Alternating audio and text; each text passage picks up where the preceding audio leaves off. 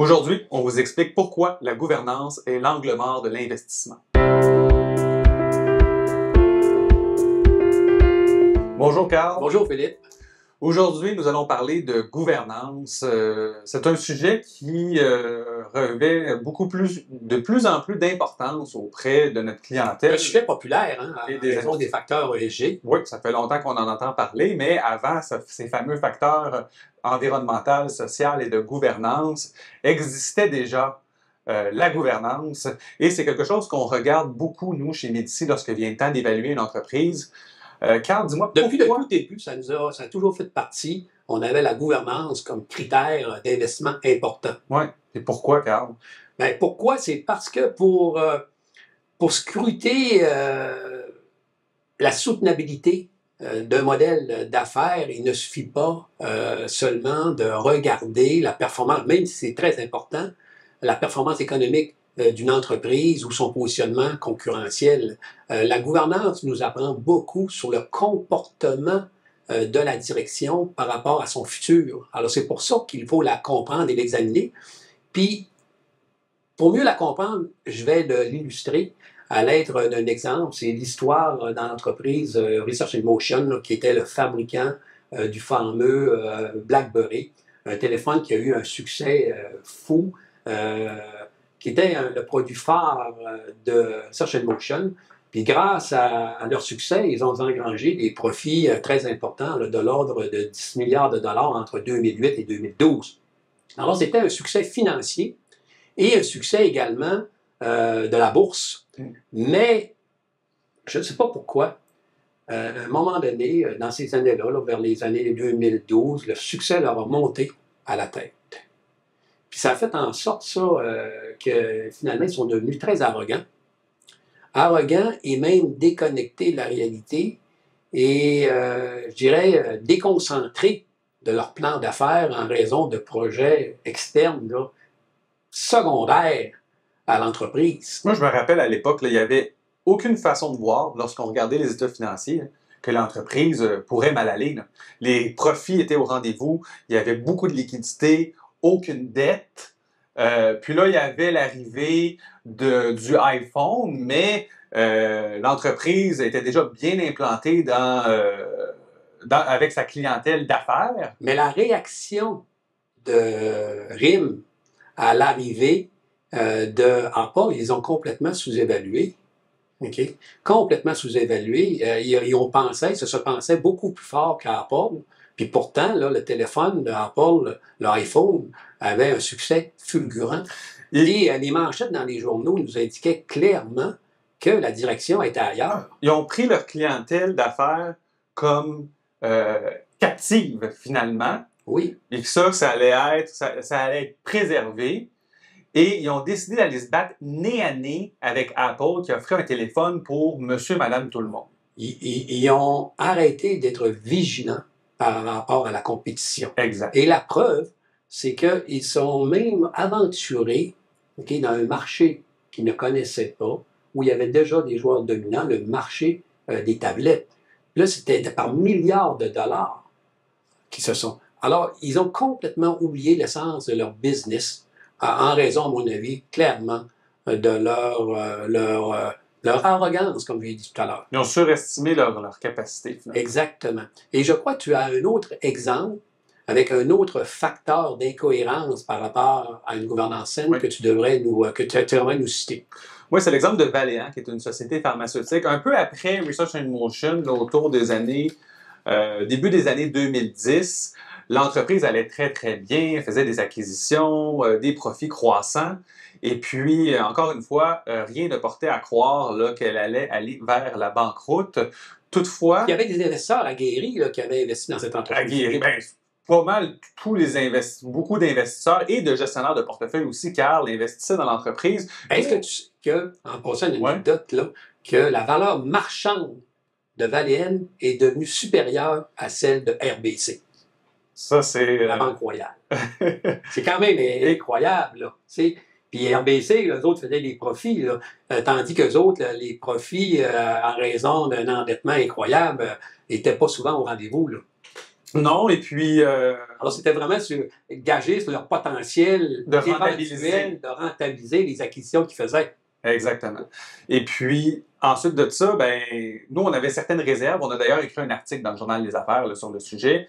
Et, En 2013, ça, déjà. oui, puis c'est principalement au niveau de la rémunération des dirigeants cadres. Ah oui. Les dirigeants étaient euh, incentivés à euh, atteindre des objectifs à court terme. Et ça, c'est jamais bon lorsque notre rémunération dépend de l'atteinte d'objectifs à court terme. Ça amène les dirigeants à prendre de mauvaises décisions. En, en sorte qu'en quelque sorte, ils étaient en conflit d'intérêts.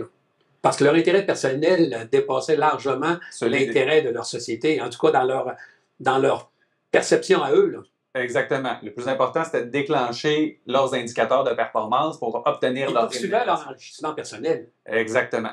Et puis, bon, ça les a menés à prendre davantage de dettes, à maintenir le rythme d'acquisition euh, et donc de faire des acquisitions finalement qui n'étaient pas nécessairement euh, Des rentables, Des risques qui mettaient en péril la compagnie. payées trop cher.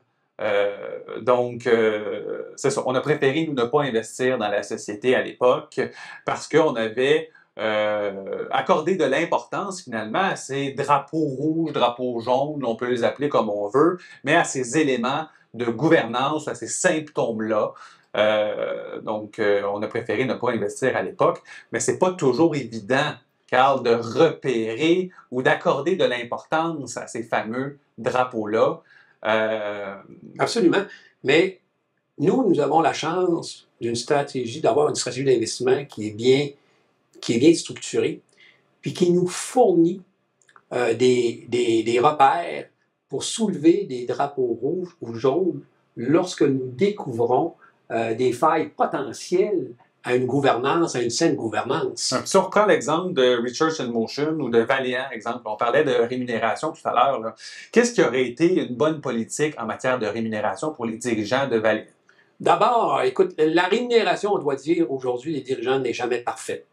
Mais si idéalement nous avions à définir une rémunération, ce serait une où euh, les dirigeants ont des participations dans l'actionnariat de l'entreprise de manière très importante. Ça veut dire qu'ils ont à perdre quelque chose parce qu'ils ont acheté leur action à quelque part. Et ils sont actionnaires, donc euh, les intérêts sont arrimés avec ceux Totalement. des actionnaires. totalement arrimé. Exactement. Mais, ceci étant dit, si la rémunération des dirigeants sont, est au moins à très très long terme sur euh, la croissance des vrais profits d'une organisation, qui est à très long terme, puis c'est vraiment sur la croissance véritable euh, de la performance économique d'une entreprise, ça peut faire du sens. Ouais. Mais c'est c'est- c'est difficile d'avoir une, une rémunération là, qui, est, qui est- qui est- qui est idéale là, euh, pour nous. Mais il y a d'autres facteurs, comme par exemple, qui sont souvent sous-estimés, c'est la culture d'une organisation. C'est euh, une culture qui est axée sur la modestie, euh, comme celle de Quincaillerie Richelieu que nous avons analysée dans notre livre, Oui. est exceptionnelle. Parce que la modestie, à mon avis, c'est un antidote naturel à des dérapages organisationnels qui sont qui est survenu par exemple là, euh, qui est survenu par exemple à Research in Motion comme nous avons mentionné euh, tout à l'heure. Exact. Puis ça, c'est- tu sais, c'est pas toujours facile de- de- d'observer ça. hein. C'est pas comme des chiffres. Les chiffres, on les voit dans les états financiers. Euh, Peut-être Mais c'est à analyser, c'est c'est ça qui est intéressant parce que comme, euh, comme a- analyste en gestion de portefeuille ou comme gestionnaire de portefeuille, on ne doit pas se contenter d'analyser seulement les chiffres. On doit analyser énormément également les trames narratives. Ça veut Est-ce dire que que- le dirigeant est capable d'admettre ses erreurs, par exemple? C'est faire preuve d'humilité? Tu as tout à fait raison. Tu as tout à fait raison. C'est un indicateur. Un bon euh, un, dirigeant d'entreprise qui ne fait que parler euh, de ses profits, de ses finances, de sa croissance, qui ne mentionne jamais la contribution de ses collaborateurs, c'est qui est euh, tout le temps en train d'accabler les erreurs sur son monde et tout, qui ne parle jamais de ses produits, qui ne parle jamais de ses clients. C'est des mauvais signes. C'est des drapeaux, peut-être pas rouges, mais jaunes. Puis si l'évolution continue à toujours être la même chose, là, ça devient un drapeau rouge et définitivement, c'est un facteur de non-investissement pour nous. Exact.